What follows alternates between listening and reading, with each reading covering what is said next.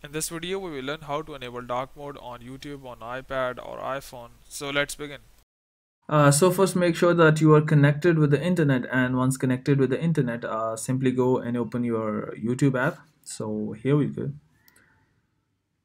So once uh, you have opened your YouTube app uh, you would be seeing uh, your profile icon at the right top corner. So I can see my profile icon at the right top corner. I would just go and simply tap on this so once I tapped on this this would appear. Uh, now you need to go to settings. You can see settings at the bottom. So tap on settings. This would open up uh, your YouTube app settings.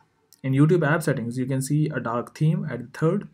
So if you turn this on so you can see the dark theme is now turned on. That is your dark mode. If you close it so you can see this is the dark mode enabled on your YouTube app. So you can see here we have the dark mode uh, so by doing so you would be easily be having your dark mode on YouTube on iPhone as well as iPad. But before you go please like subscribe and share